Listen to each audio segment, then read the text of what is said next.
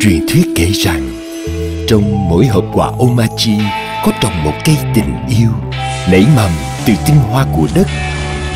Nở hoa, kết quả tạo nên một kiệt tác sắc hương vị.